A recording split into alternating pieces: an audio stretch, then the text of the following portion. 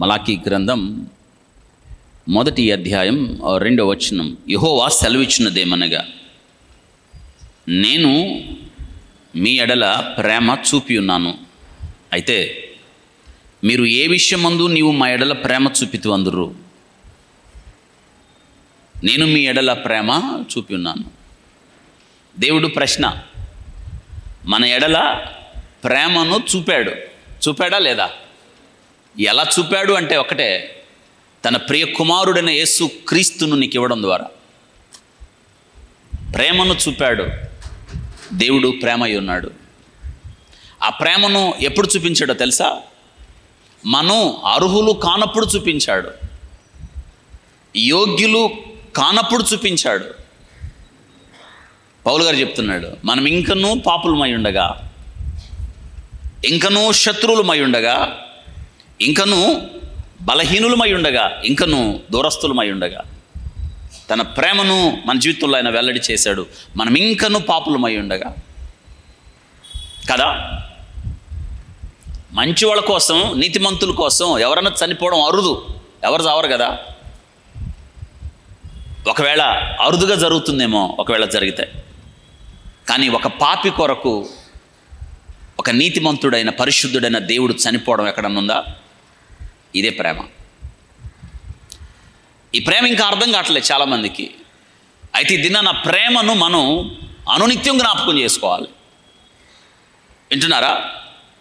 కుమారుడు మనకు తండ్రి ప్రేమ రూపమయ్యాడు. ఇదే గుర్తుపెట్టుకో.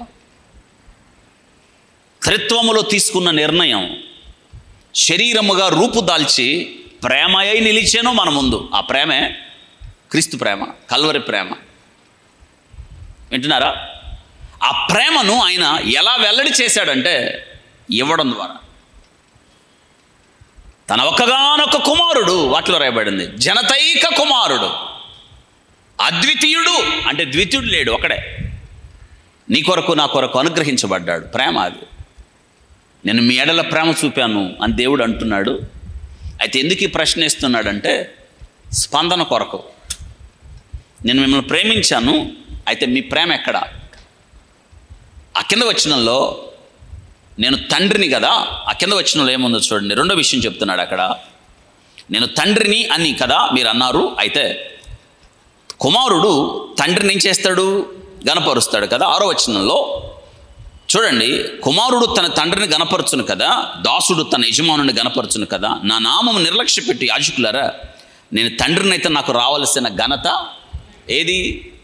మీ ప్రేమ ఏది మీ ఘనత ఏది రెండు ప్రశ్నల్లో నిజంగా మనం ప్రేమిస్తున్నాం ఆయన్ని? నీ ప్రేమ ఎక్కడా? ప్రేమకు పరీక్ష ఉంటుంది ఎప్పుడైనా. ఉంటుందా ఉండదా? ఉంటుందా ఉండదా? ఉంటుంది. మరి ఆ పరీక్షలో నెగ్గుతారా మీరు? అబ్రహాము నెగ్గాడు ఆ పరీక్షలో. నీ ఒక్కగానొక్క కుమారుడు అందులో ఉంది. నువ్వు ప్రేమించే సాకు. Only son begotten son. నీ ఒక్కగానొక్క కుమారుడు నువ్వు ప్రేమించు ఇసాకు నేను నీకు చూపించు పర్వతం మీద బలివ్వాలన్నప్పుడు అతడు నెగ్గెను. వాక్యం రాయబడ్డది బలి ఇచ్చెను. ఆ క్షణమందు కత్తి ఎత్తినప్పుడు దేవుడు జోక్యం చేసుకోకపోతే కత్తి ఎవరి మీద పడేది? సో దీన్ని బట్టి ఏమంటాం మనం? బలి ఇచ్చాను. మరి మనం ఇవ్వగలుగుతామా?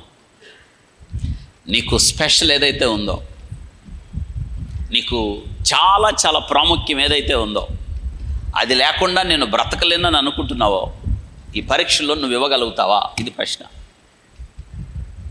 రెడీ టు గివ్ మరి దేవుడు నీ కోసం ఇచ్చాడు కదా? తన ప్రియకుమారుడు తన జనతైక కుమారుడు యేసు క్రీస్తును నీకివ్వ? వెనుతీయలేదు ఆయన? ఇవ్వడానికి వెనుకాడలేదు. మరి నీ సంగతి ఏంటి? దేవుడు అడుగుతున్నాడు నేను నిన్ను ప్రేమిస్తున్నాను కదా. నీ ప్రేమ ఎక్కడ? దర్ ఇస్ యువర్ లవ్ రెండో మాట అన్నాడు. నేను తండ్రిని కదా. మీరు కుమారులు కదా. మీరు నా బిడ్డలు కదా. బిడ్డలు తండ్రిని గనపరచాలి కదా. మరి మీరు నన్ను ఎందుకు గనపరచట్లేదు అంటున్నాడు. రెండు విషయాలు చెప్తున్నాడు. నీ ప్రేమ ఎక్కడా? నీవు నన్ను గనపరచడం ఎక్కడా? సరిచేసుకుందాం. ఆయన ప్రేమను మనం అర్థం చేసుకున్నప్పుడు మనం ఏమి ఇవ్వాలి అన్నప్పుడు ఏమిచ్చినా మన రుణం తీరదు కదా. అట్లుండవలసినదే అని మికా భక్తుడు అంటున్నాడు. ఏమి తెచ్చి ఏమి తీసుకొని వచ్చి. ఎంత బాగా చెప్తున్నాడు. ఏమి తెచ్చి ఏమి తీసుకొని వచ్చి. నీ దగ్గరికి రావాలి నిన్ను దర్శించాలి నీ రుణం తీర్చుకోవాలి. ఏమిచ్చినా తీరదు అని చెప్పాడు. వాటిని లెక్కించేదని అనుకుంటున్నా ఇసుక రేణువుల కన్నా మరేమి ఇవ్వాలి? ఏమి ఇవ్వద్దు. నువ్వు ఇవ్వాల్సింది ఆయనకి కావాల్సింది ఏది లేదు. నీవు ఆయన కొరకు బ్రతికితే చాలు. ఏ ప్రేమతో దేవుడు నిన్ను ప్రేమించాడో ఆ ప్రేమను నువ్వు లోకంలో చూపించాలి. క్రీస్తు కొరకు మీరు బ్రతకాలి. సాక్షులుగా బ్రతకాలి. యోగ్యులుగా బ్రతకాలి. రెండు ఈ జీవితంలో ప్రభువును గనపరుస్తూ బ్రతకాలి. మన జీవిత ధ్యేయం మన గమ్యం మనం ఎందుకు ఇక్కడ ఉన్నామంటే ఒక్కటే ఒక కారణం. ప్రభువుని గనపరుస్తూ ఉండాలి.